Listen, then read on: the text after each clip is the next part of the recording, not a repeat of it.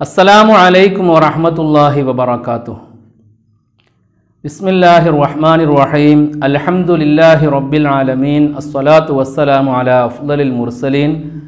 വഅലാ ആലിഹി വസ്വഹ്ബിഹിൽ ഫായിസീൻ അമ്മാബാദ് പ്രിയപ്പെട്ട അഞ്ചാം ക്ലാസ്സുകാരെ നാവിന്റെ വിപത്തുകളെ സംബന്ധിച്ചല്ലേ നമ്മൾ കഴിഞ്ഞ ക്ലാസ്സിൽ സംസാരിച്ചത് അല്ലേ? ആണ്.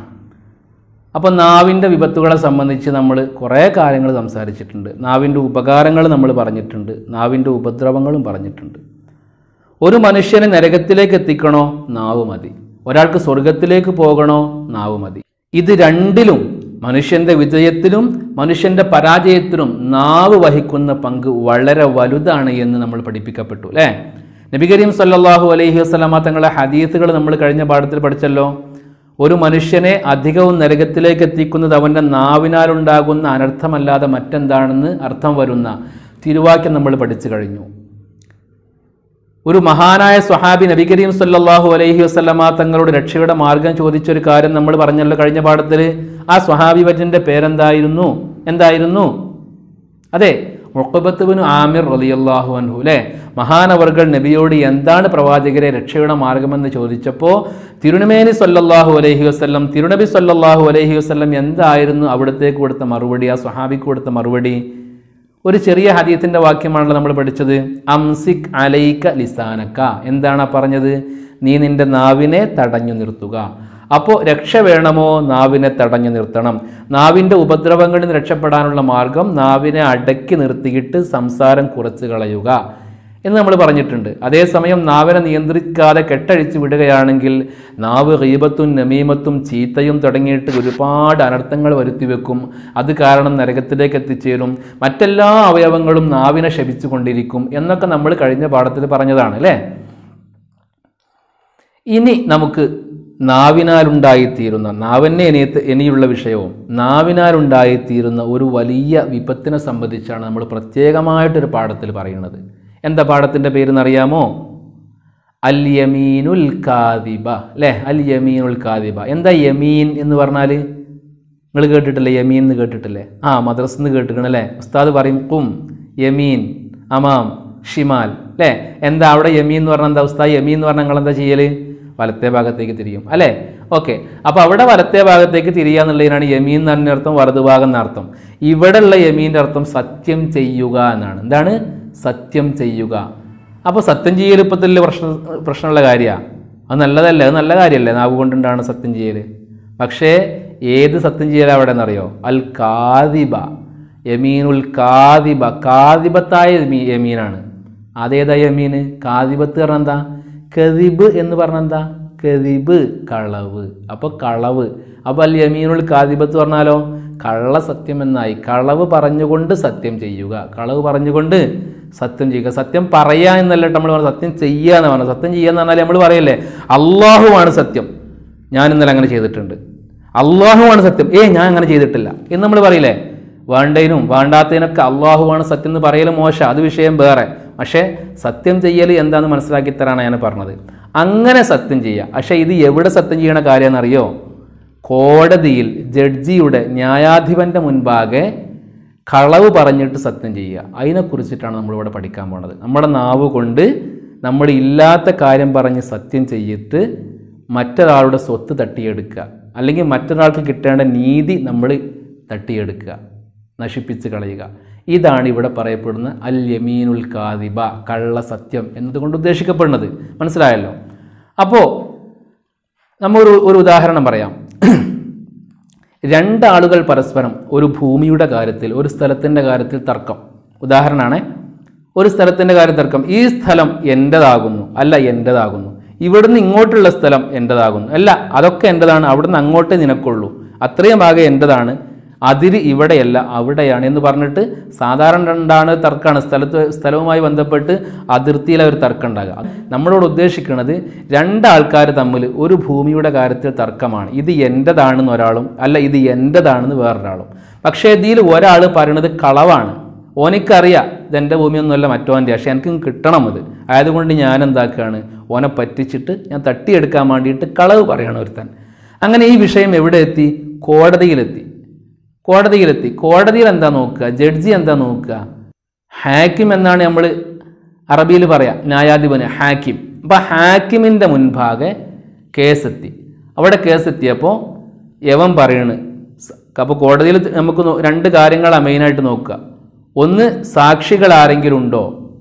ഇത് നിന്റെ സ്വത്താണ് എന്ന് തെളിയിക്കാൻ പറ്റിയ സാക്ഷികൾ ആരെങ്കിലും ഉണ്ടോ? അങ്ങനെ ഒന്ന് നോക്കുക. മറ്റൊന്ന് നോക്കുക കക്ഷികൾ തമ്മിൽ സത്യം ചെയ്യിക്കും.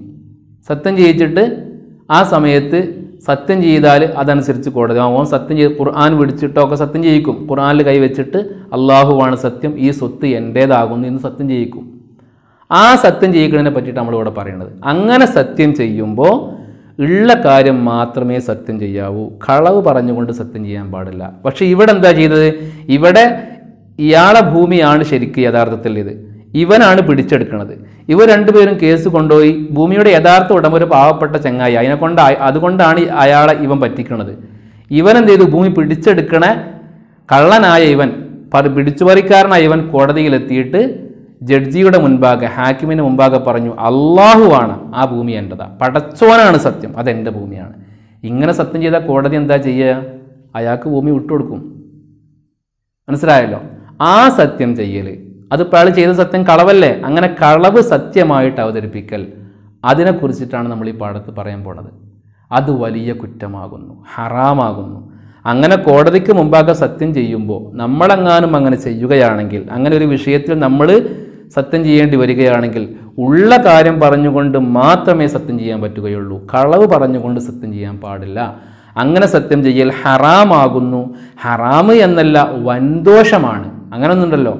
ഹറാമിന്റെ കൂട്ടത്തിൽ ചെറുദോഷമുണ്ട് വൻദോ വൻദോഷമുണ്ട്. വൻദോഷം എന്ന് പറഞ്ഞാൽ അള്ളാഹുവിങ്കിൽ അതിശക്തമായ കഠോരമായ ശിക്ഷയുള്ള തൗബ കൊണ്ടല്ലാതെ അള്ളാഹു പൊറുക്കാൻ സാധ്യതയില്ലാത്ത വലിയ പാപങ്ങളാണ് വൻദോഷങ്ങൾ. അതിൽപ്പെട്ട വൻദോഷമാണ് കള്ളസത്യം ചെയ്യൽ. അപ്പം മറ്റൊരാളുടെ അവകാശം തട്ടിയെടുക്കാൻ വേണ്ടിയിട്ട് കളവ് സത്യമായിട്ട് അവതരിപ്പിച്ചിട്ട് സത്യം ചെയ്യുക. അതിനാണ് കള്ളസത്യം ചെയ്യുക എന്ന് പറയാം. അപ്പോൾ അത് നമുക്ക് പാടില്ലാത്തതാണ്. അത് നാവ് തീരുന്ന ഒരു വലിയ അപകടമാണ് വിപത്താണ്.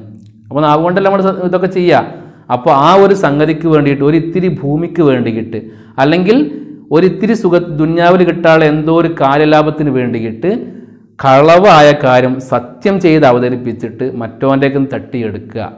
ഇത് നാവ് കൊണ്ടുണ്ടായിത്തീരുന്ന വലിയ അപകടമാകുന്നു വലിയ വിപത്താകുന്നു. അത് കുറ്റമാണ്. ദോഷമാണ് ഹറാമാണ് വൻദോഷമാണ്. അത്തരത്തിലുള്ളവർക്ക് അള്ളാഹുവിങ്കൽ സഹിക്കാൻ പറ്റാത്ത വേദനാജനകമായ ശിക്ഷയുണ്ട് എന്ന് അള്ളാഹുത്താല തന്നെ പരിശുദ്ധ ഖുർആനിൽ നമ്മെ പഠിപ്പിച്ചിട്ടുണ്ട്. അപ്പോൾ ഇതാണ് നമ്മൾക്ക് കള്ളസത്യവുമായി ബന്ധപ്പെട്ട് ഇന്നത്തെ ക്ലാസ്സിൽ പറയാനുള്ളത്. ഇതിന്റെ ബാക്കി ഇൻഷാല്ല അടുത്ത ക്ലാസ്സിൽ നമുക്ക് പറയാം. അപ്പോൾ ഇത്രയും ഭാഗങ്ങൾ നമുക്കൊന്ന് വായിച്ചു നോക്കാം. എല്ലാവരും കിതാബ് എടുക്കുമല്ലോ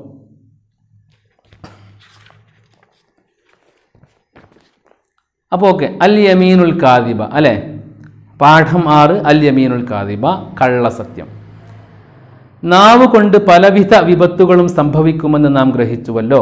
എന്നാൽ ആ വിപത്തുകളിൽപ്പെട്ട ഒരു മഹാവിപത്താണ് കള്ളസത്യം സ്വത്ത് സംബന്ധമായോ മറ്റോ ഉത്ഭവിക്കുന്ന തർക്കം ഒരു ഹാക്കിമിന്റെ മുമ്പാകെ ഇരിക്കുമ്പോൾ നമ്മൾ പറഞ്ഞു ഹാക്കിം അല്ലേ ന്യായാധിപൻ. ആ തർക്കത്തെ സംബന്ധിച്ച് ഒരു ഹാക്കിമിന്റെ മുമ്പാകെ ഇരിക്കുമ്പോൾ ആ തർക്കത്തെ സംബന്ധിച്ച് നൽകപ്പെടുന്ന തെളിവുകൾ സാക്ഷികളുടെ മൊഴിയും കക്ഷികളുടെയോ മറ്റോ സത്യവുമാണ്. അപ്പോൾ കേസിലുള്ള കക്ഷികളോ ഇല്ലെങ്കിൽ പുറമേ നിന്നുള്ള ആളോ വന്നാണ് സത്യം ചെയ്യുക. അങ്ങനെയാവാം. മറ്റ് രണ്ടാൾക്കാർ തമ്മിൽ പ്രശ്നം നടക്കുന്നിടത്തേക്ക് നമ്മളാരും ചെന്ന് കണ്ട് എന്താക്കുക? സത്യം ചെയ്യുക. അങ്ങനെ ചെയ്യണ സത്യം.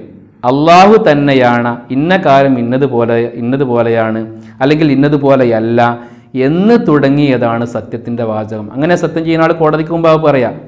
അപ്പം നമ്മൾ മറ്റൊരാൾക്ക് വേണ്ടിയിട്ട് ഹാജരാകുമ്പോൾ അവൻ ഇവിടുത്തെ കള്ളനാണ്. രണ്ടാൾക്കാർ തമ്മിൽ ആണ് പ്രശ്നം. അതിൽ രണ്ടിൽ ഒരാളോട് ഞമ്മക്ക് എന്തോ ഒരു പ്രശ്നമുണ്ട്. സംഗതി ഇവിടെ ഓന നിരപരാധി. ഓന്റെതാ ഭൂമി. മറ്റേ ആൾ നമ്മളാളാ പക്ഷെ ഓനാണ് ഇവിടെ ഭൂമി പിടിച്ചെടുക്കുന്നത് അപ്പോൾ നമ്മൾ കോടതി കയറിയിട്ട് അള്ളാഹുവാണ് സത്യം. ഈ ഭൂമി ഇവന്റെതാണ്. ശരിക്കാരതാ ഭൂമി? മറ്റോന്റെതാ. അപ്പോൾ നമുക്ക് ഓനോട് ദേഷ്യമാണ്. ഇവൻ നമ്മളാളാണ് ആയതുകൊണ്ട് നമ്മൾ എന്താക്കിക്കുക ഓന് മടിയിട്ട് ഇല്ലാത്ത കാര്യം അള്ളാഹുവാണ് സത്യം. ഈ ഭൂമി ഓന്റെതാണ് ഇന്ന് സത്യം ചെയ്യുക. അങ്ങനെയാവാം. ഇത് രണ്ട് നിലക്കാണെങ്കിലും പറയുന്ന കാര്യം നൂറ് ശതമാനം സത്യസന്ധമായിരിക്കണം. അപ്പോൾ ഇങ്ങനെ ഹാക്കിമിന്റെ മുമ്പാകെയോ അല്ലാതെയോ സത്യം ചെയ്യുമ്പോൾ അപ്പോൾ ഹാക്കിമിന്റെ മുമ്പാകെ എന്നല്ല അല്ലാത്ത നേരത്തും അല്ലാണ്ട് സത്യം ചെയ്യുമ്പോൾ എന്ത് വേണം? എന്ത് വേണം? ഉള്ള യാഥാർത്ഥ്യം പോലെ ആയിരിക്കണം. ഉള്ള യാഥാർത്ഥ്യം പോലെയാവണം എങ്ങനെയാണോ ഉള്ളത് അതേ സത്യം ചെയ്യാവൂ. അതിലപ്പുറം കൂട്ടി പറയാൻ പാടില്ല. യഥാർത്ഥത്തിന് വിരുദ്ധമായി പോകരുത്. ഉള്ളതിന് എതിരായി പോകരുത്. സത്യത്തിനെതിരായിട്ട് കളവായി പോകരുത്. യഥാർത്ഥത്തിന് വിരുദ്ധമായി സത്യം ചെയ്താൽ അതെല്ലാം കള്ളസത്യമാണ് ഉള്ളതുപോലെയല്ലാതെ ഉള്ളതിനപ്പുറം അതിനെതിരായിട്ട് സത്യം ചെയ്യുന്നതൊക്കെ എന്താണ്? കള്ളസത്യമാണ് കള്ളസത്യം ചെയ്യൽ ഹറാമാണെന്ന് മാത്രമല്ല അത് വൻദോഷവും കൂടിയാണ്. നമ്മൾ പറഞ്ഞല്ലോ ഹറാമെന്ന് മാത്രമല്ല വൻദോഷവും കൂടിയാണ്. കള്ളസത്യം ചെയ്യുന്നവർക്ക് നാളെ പരലോകത്ത് വരാനിരിക്കുന്ന ഗൗരവമേറിയ പല നാശങ്ങളെയും വിശുദ്ധ ഖുർആൻ മുന്നറിയിപ്പ് നൽകിയ കൂട്ടത്തിൽ വലഹും അദാബുൻ അലീം. എന്താണ് ആയത്താണത്? എന്താ പറഞ്ഞത്? വലഹും അദാബുൻ അലീം എന്നുകൂടി പറഞ്ഞിട്ടുണ്ട്. എന്താണ് പറഞ്ഞത്? അവർക്ക് വേദനാജനകമായ ശിക്ഷയുമുണ്ട് എന്നാണ് അതിന്റെ സാരം. മനസ്സിലായ? അപ്പോൾ കള്ളസത്യം ചെയ്താൽ നമ്മൾ താൽക്കാലിക ലാഭത്തിന് വേണ്ടിയിട്ട് എന്തോ കിട്ടാൻ വേണ്ടിയിട്ട് ഇല്ലാത്ത കളവ് സത്യമായിട്ട് ചെന്നിട്ട് സത്യം ചെയ്ത്.